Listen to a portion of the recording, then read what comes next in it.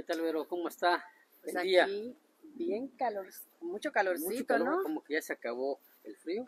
Sí, No. tanto que, que lo anunciaron y lo poquito que duró. Nada más, nos, nada más nos ilusionaron con tanto frío. Así para los es. tamales, mañana es 2 de febrero. Sí, es cierto, y a mí me tocó muñeco, ¿te acuerdas? Mañana. Uy. Hablando de muñecas, muñecas es la que se llevó el PRD. Sí, hombre, con esto de, de la renuncia de... De Juan José Juan Marín, José ¿no? Marín. El, el líder es- eh, nacional del PRD en Quintana Roo, Así que es. ayer renunció al PRD, imagínate. Pues según no está de acuerdo con la candidatura de, de Laura. No, y es, no nomás él. O sea, él lo ha hecho visible, él porque es un delegado nacional en Quintana Roo que dice, pues ya vas de simulaciones, prefiero decirles hasta aquí yo llego y me voy. Y Sí, como manifestó en su carta que va contra sus ideales y contra sus convicciones. sus principios. Ayer renunció ante Zambrano, mandó una carta diciendo ya no más, ya no quiero ser más delegado, porque siento, en el fondo es siento que lo que están haciendo no va con las convicciones ni el sentir de los perredistas. Porque además no está ella eh, con las tradiciones ni nada del, del PRD, Si es que una, una candidata, una precandidata como él lo es Laura Fernández, que viene de- del verde además.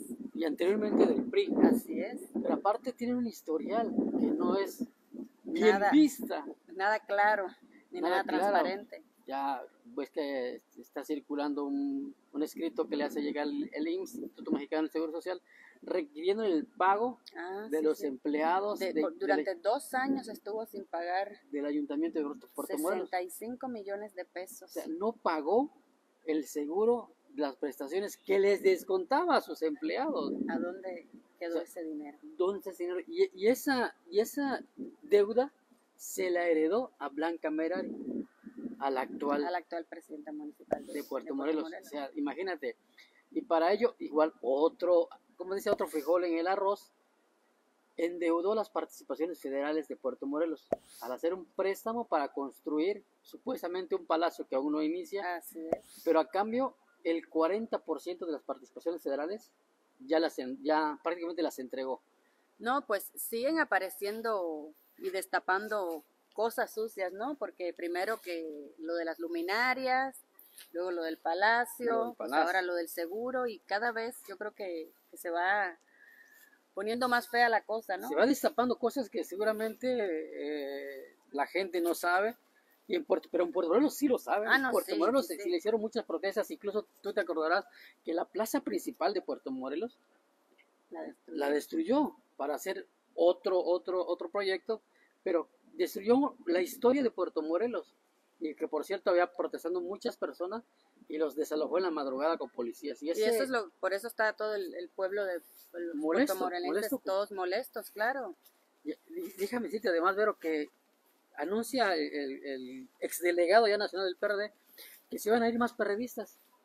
Yo estoy seguro de eso. Y ¿eh? panistas también, esperemos en cualquier momento que los del PAN también empiecen a desertar y a renunciar, ¿no? Sí, porque digo, no están de acuerdo con esta persona. Digo, hubieran bus- rebuscado entre los militantes, entre los simpatizantes del PAN, PRD, de esos que conforman la alianza va por Quintana Roo, quizás hubiera tenido más opciones, pero haber aceptado a una militante, primero priista, después verde ecologista, y luego con el pasado que deja en Puerto Morelos, y luego hacer la precandidata, Precandidata. a la a gubernatura por alianza va por Quintana Roo, yo creo que de- deja mucho que desear. Así es. Entonces, pues por eso los, los simpatizantes y los militantes están molestos, Molestos. con toda su razón. Ahora, ¿sabes a dónde dicen que se van a ir? Al partido del Ah, momento. pues a Movimiento Ciudadano, Movimiento al Partido Ciudadano. del Boom, Eso se está diciendo. Eso se está diciendo que se van a ir a Movimiento Ciudadano. pues entonces a ver hasta dónde llegan sus convicciones, ¿no?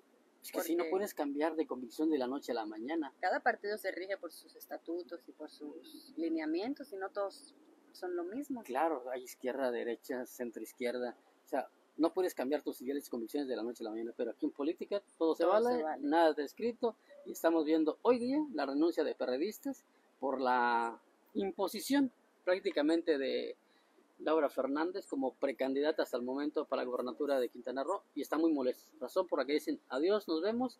Y un ejemplo claro de ello es la carta que le hace llegar al líder nacional eh, Chucho Zambrano, el delegado nacional del PRD, en Quintana Roo, que es Juan José Marín. Marín, así es. Es interesante, amigos de Cancún Channel y Contrapunto Noticias, Verónica Y Núñez. Sergio Masté, Síganos en nuestras redes sociales y vamos a estar comentando todo lo que ocurre sobre el proceso electoral 2022. y compartan estos videos para que lleguen a más personas y puedan razonar bien su voto antes de votar. Hasta luego. Nos vemos.